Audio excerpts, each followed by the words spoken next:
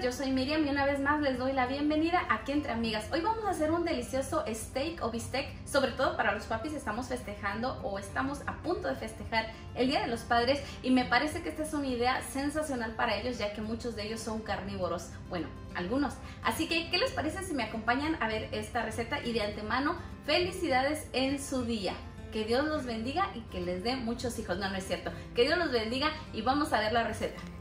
Para preparar estos ricos bisteces, filetes de res o steak, como mejor lo conozcas, vamos a necesitar los filetes primeramente. Yo tengo aquí unos de un grosor bastante ancho y voy a usar también sal, pimienta y un poco de polvo de ajo. Como están viendo, lo estoy esparciendo por los filetes y les voy a dar unos golpecitos con un tenedor. Y así vamos a ayudar a que estas especies se penetren un poquito más y voy a hacer lo mismo por el otro lado. Les voy a dar la vuelta y voy a hacer exactamente lo mismo.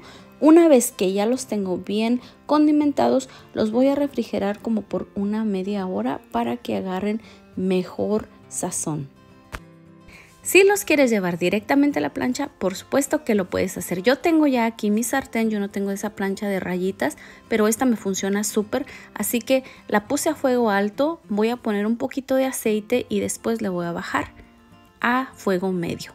Y aquí voy a poner ya mis filetes. Lo primero que voy a hacer es que los voy a sellar aproximadamente por unos 2 o 3 minutos por cada lado.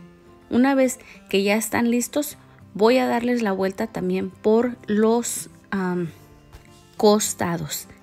Como pueden ver aquí, estoy haciendo las maniobras para ambos bisteces. ¿Cómo se ven? Pues ya se empiezan a ver chulos, ¿no?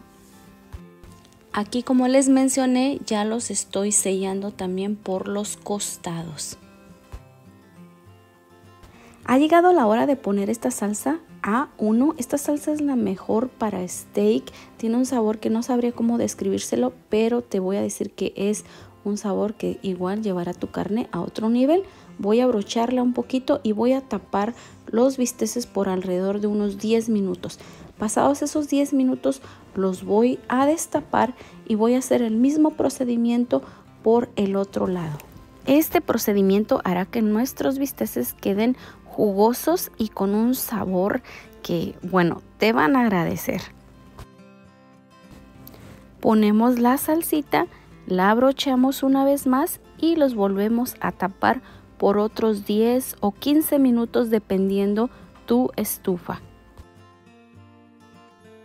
Es importante mencionar que depende mucho el punto en el que a ti te guste tu steak.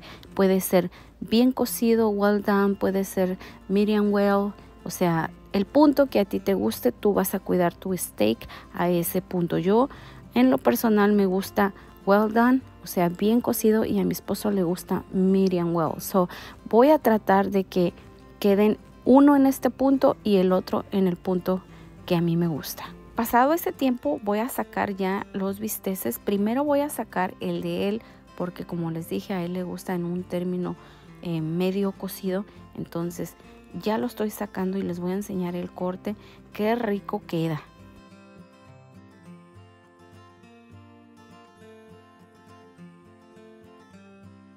Chequen esto, quedó espectacular, bien rico, bien jugoso y el mío lo voy a dejar unos minutos más porque a mí me gusta pues más cocidito y enseguida les muestro cómo quedó, miren, riquísimo, está súper.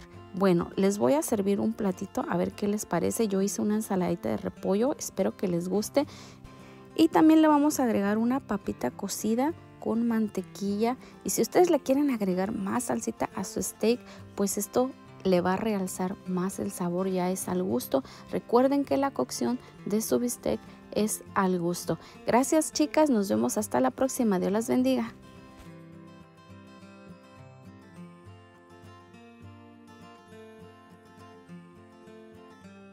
Si te has quedado hasta el final de este video, te quiero agradecer y también te quiero pedir tu suscripción. Recuerda que estamos en Facebook, en YouTube y en Instagram. Dios te bendiga y nos vemos en el próximo video.